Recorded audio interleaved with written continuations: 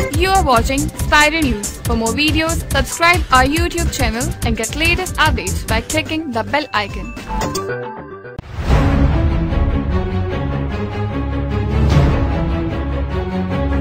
आज की special report में हम जानेंगे क्या प्रोटीन से वज़न कम किया जा सकता है या नहीं बीसवीं सदी के आगाज़ में आर्कटिक में एक खोज के लिए निकलने वाले मुहक्किक अल्जामिर स्टिफनेसन ने पाँच साल सिर्फ़ गोश्त खाकर गुजारे उसका मतलब ये था कि उनके खाने में 80 फ़ीसद चर्बी और 20 फ़ीसद प्रोटीन था।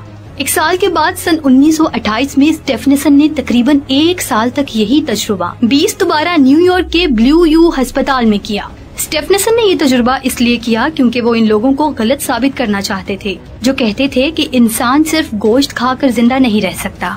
लेकिन बदकिस्मती से दोनों ही तजुर्बों के दौरान वो बहुत जल्द बीमार पड़ गए। वजह साफ़ थी। स्टेफनेसन चर्बी के बगैर वाली प्रोटीन खा रहे थे। इसलिए उन्हें प्रोटीन प्वाइजनिंग हो गई। यानी ज़्यादा प्रोटीन लेने की वजह से मुश्किल हो गई। स्टेफनेसन ने जब अपनी खुराक में तब्दीली की और अपने खाने पीने में प्रोटीन के साथ चर्बी को भी शामिल कर लिया, उनकी ये बीमारी फ़ौरन कम हो गई।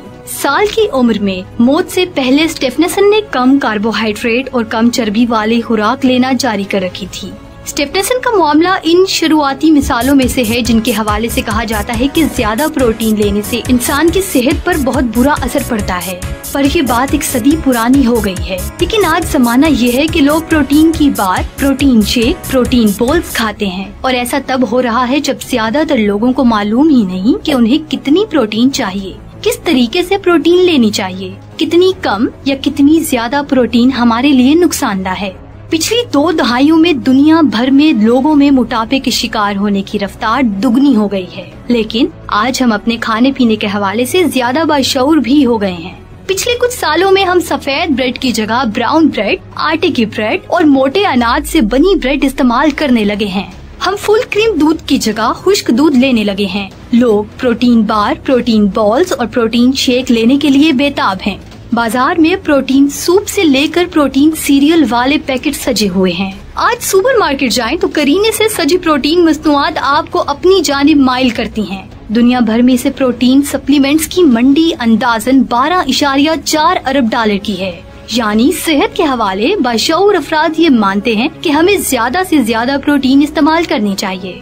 लेकिन अब तमाम माहरीन का ये कहना है कि ज़्यादा प्रोटीन्स वाली ये प्रोडक्ट्स हमारे लिए गैर ज़रूरी और जेब पर बोझ हैं। प्रोटीन हमारे जिस्म की नशोनमा के लिए ज़रूरी है। ज़्यादा प्रोटीन वाली चीज़ें, जैसे दूध, गोश्त, अंडे, मछली, दालें, हमारा जिस्म बनाने के लिए ज़रूरी हैं। जब हम ऐसी चीज़ें खाते हैं तो हमारा मैदा उन्हें तोड़कर अमीनो एसिड्स में तब्दील करता है, जिसे हमारी छोटी आंत जज़ब करती है। यहाँ से ये अमीनो एसिड हमारे जिगर तक पहुँचते हैं। जिगर ये तय करता है कि हमारे जिस्म के लिए ज़रूरी अमीनो एसिड्स कौन से हैं। उन्हें अलग करके बाकी एसिड पेशाब के ज़रिए जिसम से खारिज कर देता है। 2017 की तहकीकी रिपोर्ट कहती है कि बरतानिया के 27 फ़ीसद लोग प्रोटीन बार या प्रोटीन शेक इस्तेमाल करते हैं। जो लोग हफ़्ते में दो बार से ज़्यादा वर्जिश करते हैं, उनको भी मिला लें तो ये तादाद उनतालीस फ़ीसद बनती है। लेकिन दिलचस्प बात ये है कि उनमें से तिरसठ फ़ीसद को ये नहीं मालूम कि उन्हें ये post workout protein shake कितना फ़ायदा दे रहा है। वो ये भी नहीं बता सकते कि उसका कोई असर भी है या नहीं।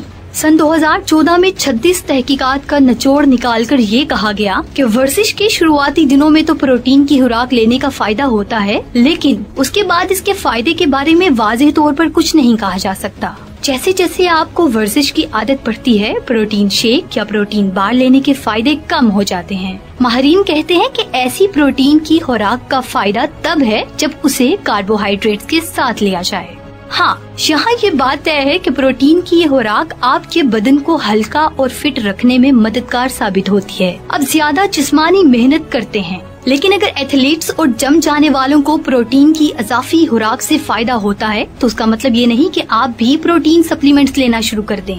बर्तानिया की स्टर्लिंग यूनिवर्सिटी में खेलों के प्रोफेसर कैवन कैप्टन कहते हैं कि ज़्यादातर लोगों को उनकी ज़रूरत भर से ज़्यादा ही प्रोटीन उनके खाने से मिल जाती है। किसी को सप्लीमेंट लेने की ज़रूरत नहीं रहती। आप आसानी से अपनी रोज़मर्रा के खाने, पीने की चीज़ों के ज़रिए मुनासिब मकदार में प्रोटीन हासिल कर सकते हैं।